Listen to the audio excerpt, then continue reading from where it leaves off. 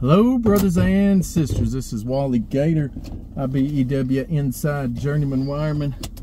Got this channel up for you travelers or wannabe travelers or just curious. Show you how I'm doing this traveling as union electrician. All that wind and solar out there you see. Well, you can't see the solar. Is what I've been working on for the past 18 weeks. So, it's coming to an end. And, uh, they had a big layoff last week. and uh, there's probably only one more week left.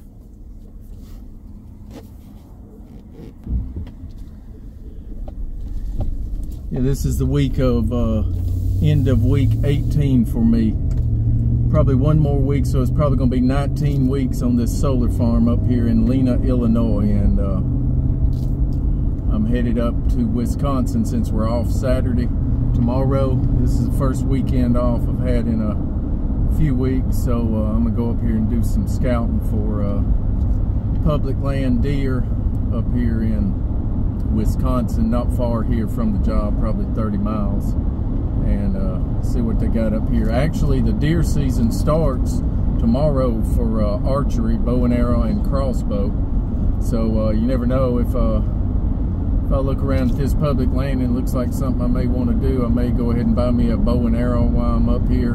I've got one, but it's back home. Uh, I didn't think I'd be up here this long uh, without going back home first. It's been a few weeks, so I didn't want to bring everything uh, because Illinois doesn't start till October 1st, so it won't, won't be nothing to just buy a cheap bow and uh, their license is a lot cheaper than Illinois, also in Wisconsin. A lot of times, as these jobs come to an end, uh, a lot of guys get asked to stay a few more weeks or a few more days to finish up the job because you can't have everybody exit all at one time. There's uh, not enough work for everybody to stay, but there'll be enough work for a few people to stay. I was asked if I wanted to stay, so I did because I'm trying to push it right all the way up till the beginning of deer season. And then when I get laid off at the beginning of deer season, that's fine. I'll take off and not work and just uh, deer hunt for a few weeks or a couple months. And uh, some other guys said, no, nah, they don't, they didn't want to stay. Uh, Matt said, no, I don't want to be moving the sea crates which is the, uh, the little trailers, break area trailers. I guess disconnecting them and moving tables and chairs and microwaves, stuff like that. He was like, nah. And what it is, is since that's not electrical work, you know, a lot of times uh, electricians, you know, they don't want to do any other kind of labor work, you know. Some guys don't mind. I don't mind. I don't mind doing labor, just labor and uh, sometimes that's a, a needed uh, relief, a break from doing the uh, actual electrical because uh, you got to know a lot of stuff when you're an actual electrician. So all you young guys who are striving to be ele uh, electricians, journeyman wiremen, even traveling journeyman wiremen, you got uh, you got to know a lot of different things and have a lot of different tools and be able to run those tools properly and with a lot of knowledge. There are a lot of other trades that don't have to uh, be this diverse, but we electricians are able to, uh, at least the good ones, able to do a lot of uh, different types of electrical work uh, through the IBEW and through their uh, trade and uh, through their learning through the apprentice program that we've all been through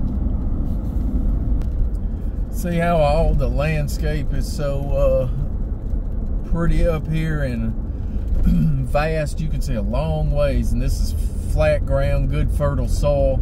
You can see forever up here. Some of the sunsets and uh, landscapes are some of the prettiest you've ever seen up here in northern Illinois. And uh, I see why they want to put solar and wind up here. It seems like the wind's always blowing and the sun has been shining a lot on us here lately. I think it does get a lot of overcast after uh, once winter gets here in fall. But uh, as of right now, buddy, it's very few clouds in the sky and a good place to put a solar field on a big flat area like this. For a lot of you apprentices who are striving to be a uh, an electrician right after high school and all that, remember this, you can be more than an electrician, you can be a business owner of electricians. You can be an electrical contractor, don't forget that. Take business classes where you can and learn all you can and be ready to go and do anything at a moment's notice and uh, strive to be an electrical contractor. The IBEW will help you and uh, a lot of the contractors you've worked for through the your apprenticeship they'll send you work. You can uh, even open up your own uh, one-man shop. Uh, you sign an agreement with the IBEW to use union labor, and uh, you can hire out apprentices or wiremen as these jobs grow for you, and uh, you uh, grow your business from one man to sky's the limit. A hundred men, you never know. And the future is this solar and wind I'm seeing it everywhere up here. More talk about other jobs coming up and all these different uh, solar farms being built, even bigger than the one I just worked on here. And uh, this is my first uh, solar uh, job. And a lot of people, it's their, even us older guys, it's their first or second solar job they've ever done. So, uh, you young guys who were out there on it, we had these solar helpers. And uh, they were uh, soon to be apprentices trying to get into the program, trying to get into local unions. They are starting out here doing this, so they'll have a lot of knowledge as uh, their career builds and grows in something that's uh, only getting bigger and bigger.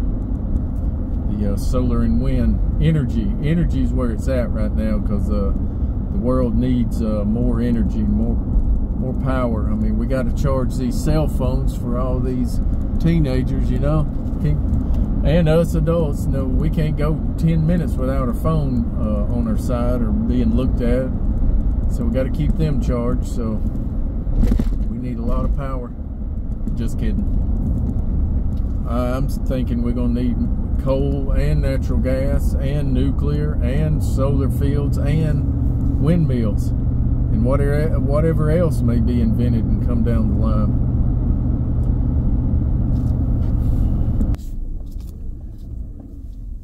Look at this landscape in Wisconsin. This Is not beautiful?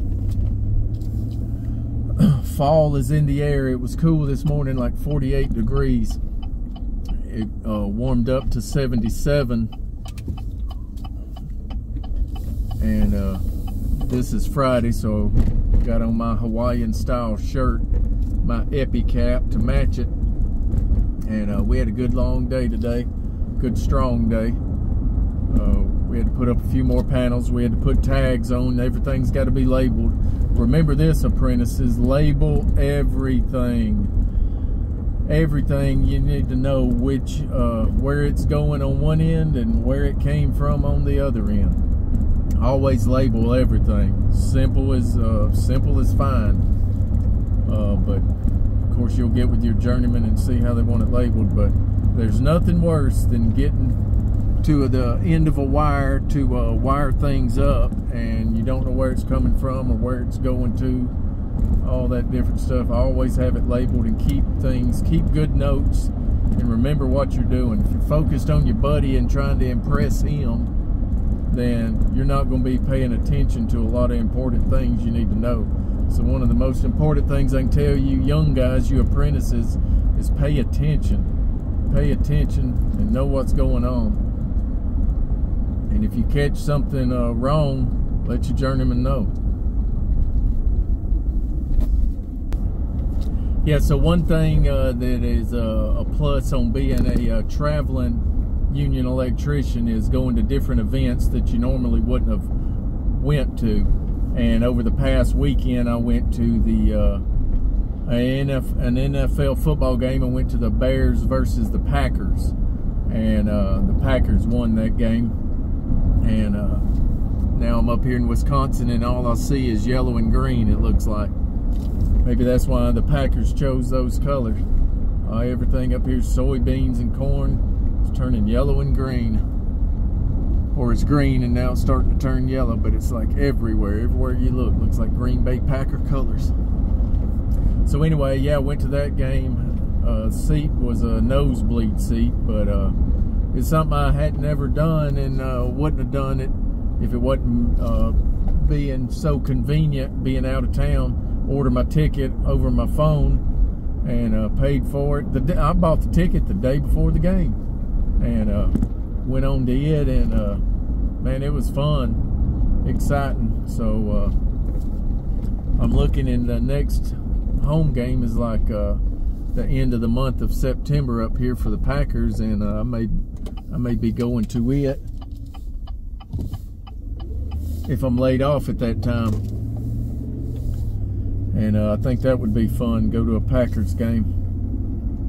So anyway I believe I'm going to end this video now as I head out here to this public land to do some quick scouting and look around, see what uh see what it looks like. This is marsh and swamp land, and I've never really hunted marsh and swamp, so uh, it's going to be something new, and that's what the exciting part is on being a traveler is uh, getting to go try new things, and it's uh, pretty familiar because uh, it's deer hunting, but I've never hunted this type of way in a marsh. So uh, I got my hip waders, and uh, I'm gonna try to go back and go to some places. Looks like people don't really go back to because because it's so thick and wet. So we will see. So anyway, love all you guys. Give me a thumbs up.